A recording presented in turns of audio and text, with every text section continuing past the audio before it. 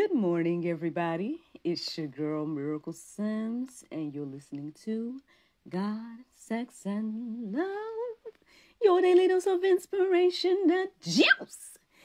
It is October the 19th, 2024, and today the topic is Controlaholic.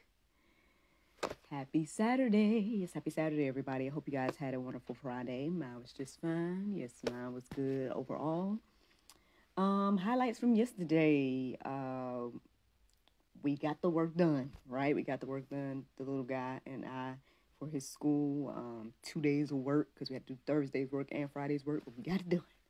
So we're good with all of that. Um, I had to go work yesterday. I had to go to do this event and whatnot, and NJ had to go with me. So that was interesting, but still worked out pretty good. Um, after that, came on back home. And that's pretty much the main highlights of yesterday. Um, yeah, I can't think of anything else of significance to share. Y'all know we had an episode of the GSL Talk Show come out last night. So y'all probably saw that episode with Pastor Stephanie. So hopefully you guys enjoyed that conversation. If you haven't seen it, go check it out. It should be our featured episode on the GodSexandLove.com website. Um, you know, I'm standing true to my, my word yesterday as well. And I'm just going to say that. And if you know what I'm talking about, then you know. And I'm going to leave it right there. Um, I think I did pretty good with, you know, not partaking too much in the content. And yeah, um, after some soul searching and more praying and whatnot, I feel like, yeah, that's that's the route. I actually turned off um, the notifications and stuff like that. Um, so, yeah, sorry, y'all not going to get your questions answered. But at the end of the day, everything's already been answered one way or another. And y'all may know that Allie went live last night as well, and so or yesterday, and so um, we shared that, and it was interesting because um, I feel like a lot of the things that she said in that video is confirmation as well as answers to some of those questions that we were getting. So watch it. You know what I'm saying? Hopefully you will be encouraged and inspired as well as informed, right, about all of those things. Um, outside of that, yeah, man, that was my Friday. Um, I pushed through. Um, did I tell y'all, man, um, that we have we have to do this 90 day challenge as part of the staff of the church that I work at, and I've been doing pretty good. Um, one of the tasks that I have to do is do like a 20 minute workout alongside of other things, positive self talk, you know, uh, span of care, all these different type of things, and I think I've been doing pretty good with it. Um, I took a nap when I got back home yesterday, but then I got up and I did like a stretching workout yesterday and so I've been trying my best to go ahead and get it done. So, yeah, that's been an interesting journey as well. And yeah, that's pretty much the highlights of yesterday. Um, this morning, there's quite a few things on my heart and mind again. I mean, you know, obviously with the title called Controlaholic, I mean, you know, obviously came from somewhere, right? Um, I won't get too too deep into specifics or whatever, but I would just I'm just gonna talk about my own testimony. I feel like I'm making observations about myself, right? That makes me feel like, man, Miracle, are you a controlaholic? um, now I know as a believer in Christ, you know, I'm have to relinquish my thoughts, my ideas, uh, maybe even my wants and desires for whatever the Lord wants to do again with me, for me, and through me.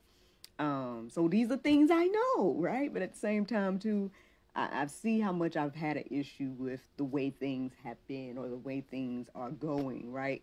Um, you know, I think my heart and mind would be much more at peace, for example, if, um, you know, we were getting the notoriety or whatever in another way versus the way we're getting it.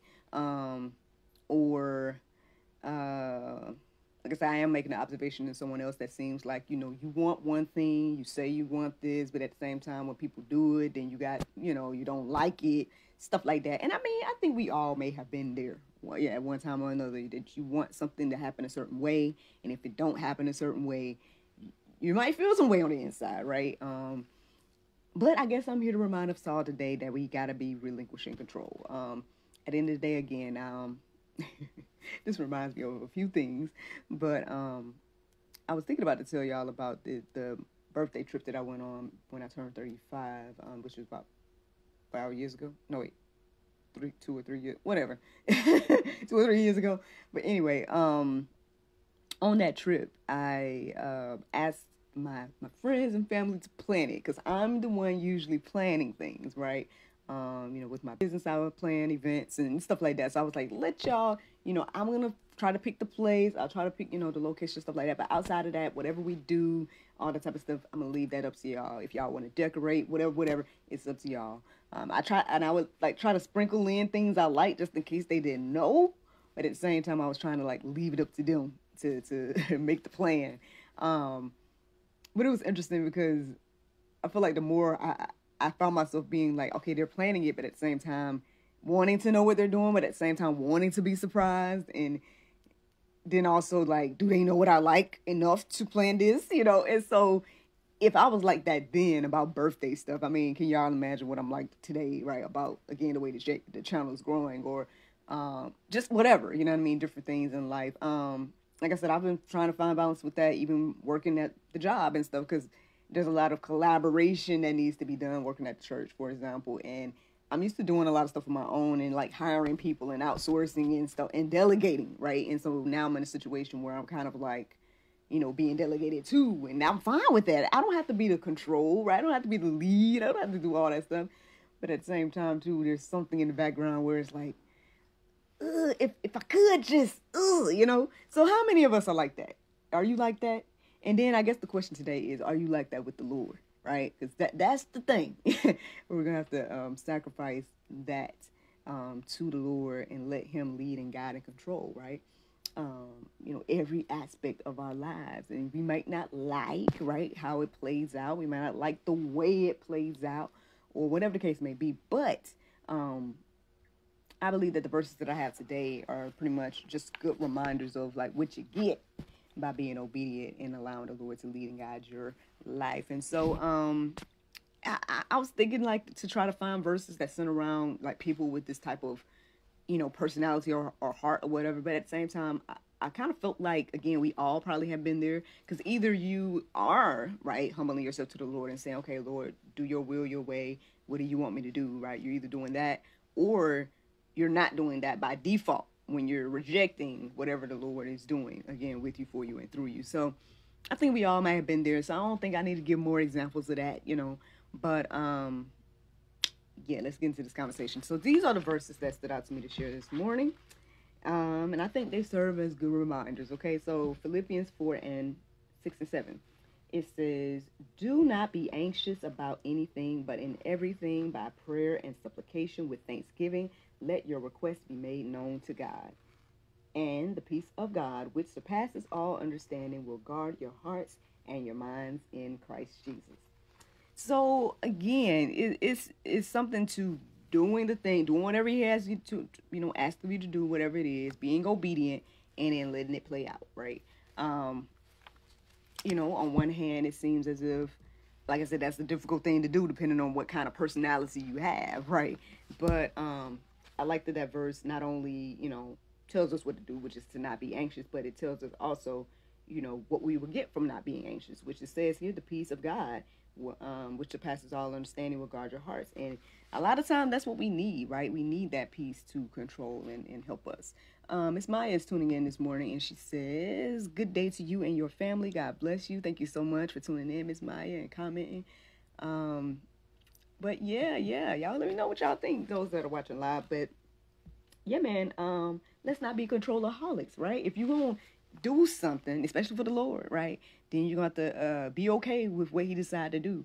Um, this keep coming to my mind, and I, I'm, not, I'm probably gonna be telling on myself a little bit, but oh, I guess I'm supposed to be um, open and honest with y'all. Um, there seems to be some type of little delay going on with the live video. Um, so I'm gonna try to see if I can get that settled or whatnot. But so anyway, let me I guess share another testimony then. Um so my apologies to the people that are live and whatnot, but um yeah, I saw there was something going on with the Wi-Fi. But anyway, um so I, I guess I'm about to get ready to tell on myself a little bit, but you know, um but anyway, so here, this is what happened. So in the beginning of the year, I think I told y'all that I was getting attacked on every end, right? You know, with my thoughts and everything. It was like I had people on the outside saying things, and and that was an attack. And then I had my own mental, you know, attacks and whatnot as well, and questions, right? Because you know, um, you know, and so basically I was asking the Lord a lot of questions. Lord, why this? Why that? You know, and um, before he answered my questions, you know, I'm frustrated. I'm like, you know, because it could have been like this and it could have been like that. So why this and why that? You know, um, I'm trying to tell y'all without telling y'all. But anyway, so on the flip side, basically, um, as I was asking those questions and the Lord was answering me, I feel like He was letting me know that, hey, you know, look at where you are, look at what you're doing, look at your family, look at all these different things. At the end of the day, you said to me, right, in your single days miracle, right, that uh, you're gonna follow me, right? Um, you wanted me to sing your spouse, right? You wanted me to, you know, lead and guide your life, and these are my choices. And so, at that point, you know, once I'm receiving those words, I'm like, you know, hey, well, that's true. I did say, and so, you know, and so who am I, right? Um, not necessarily to question. I, I, I don't think anything is wrong with asking God questions, but at the same time, too, you know, again, uh, humbling yourself to the Lord and letting Him make the decision and letting it play out. And so, it, to be honest, like I said, even now, right, um, when I'm asking the questions of the Lord, well, why did it have to happen this way? You know what I'm saying? Like, because I feel like there's all this extra controversy centered around the way it's happening right now. You know what I'm saying? When it could have just happened, like other people in their channels, they're growing by just popping balloons or they're growing by whatever. You know what I'm saying? And it's like we've been out here doing our thing, but at the same time, we're growing from like controversy, you know? and it's like, why can't it just be something positive or whatever, you know? But at the same time, too, who knows, man? Um, a lot of people, um, I, I I told I, I, slowed up with comments and stuff, but I did see a few, or I went to, uh, um, I saw a few um, on certain things, and so um, there's a lot of people thanking us for what we do here. You know what I'm saying? There's a lot of people, you know, thanking us for helping to open their eyes and, and different things of that nature. And so, again, there's a reason, right, that God has me on the path, like that He has me on. That's the reason why He had me do the movie. There's a reason why He had me meet Allie. There's a reason why, you know, we're here today. You know, and so um, and there's things I might not understand about it, you know, and and that's okay. You know, at the end of the day, God knows uh, what the bigger picture is, and so I have to humble myself, right, and be like, you know what, uh, thank you for the blessings, right, and and Lord, you're in control. Miss Maya says, yes, I'd be feeling the same way. So hey, I guess this word is for you too, Miss Maya. Okay, we gotta just, you know, again, yeah, humble ourselves, let the Lord lead, and and be okay with what he decides, right? Be, okay with, with how he lets it pay, uh, play out. I know that can be difficult as a controlaholic, right? But that's what we're supposed to do, right? I mean, I think there's a lot of Bible that reiterates that.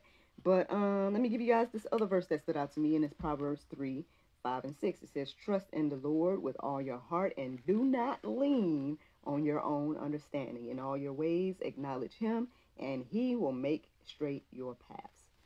I mean, I don't know what we think that means, but it seems to be very clear to tell us to not lean on our own understanding. And so, again, um, yeah, I, in my mind, right, it would be nice that if things were done a little differently, right? Sure, it would have been nice if, you know, um, things would add up completely in my life versus being like, this and this is a little off and this is a little different than I thought it would be and all of that type of stuff. But again, God's in control, right? And and I can see even with me doing this, right? Um, a lot of times when I'm going through something, it encourages and inspires the juice that I come give, right? And and like even today, Miss Maya is saying that this is resonating with her, for example, right? And and who am I don't know Miss Maya personally, you know what I'm saying? um, I don't know where she is or any of that type of stuff. But at the end of the day, being obedient, right, to thinking, praying, and studying about my own issues, right, or my own um, I'll just keep it there. My own issues have led and inspired, I believe, Miss Maya this morning um, by my obedience, right? And so, again, there's a bigger picture at play, right? What if I didn't come on here and talk about controlaholics today? You know what I'm saying?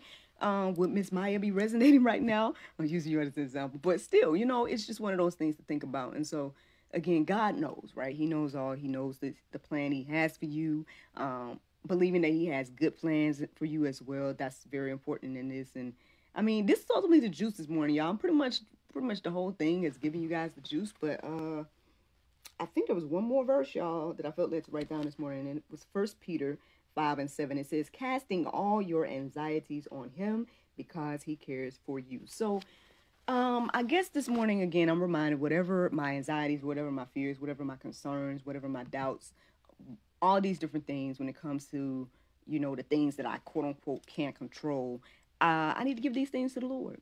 And um, like I said, this is ultimately the juice this morning. Hope you guys you are encouraged and inspired. Um, so much so that I mean, I didn't even feel led to write anything for the go deeper section today. So um, the only thing that came to my mind to say about a way to go deeper about this is to just seek the Lord about what this looks like in your life. You know, pray, humble yourself, and say, Lord, okay, you know, I, I would like this and I would like that. I wish things was like this or wish things was like that, but you know, you're in control, so help me to be okay with that, right? Help me to um, remember that in those weak moments.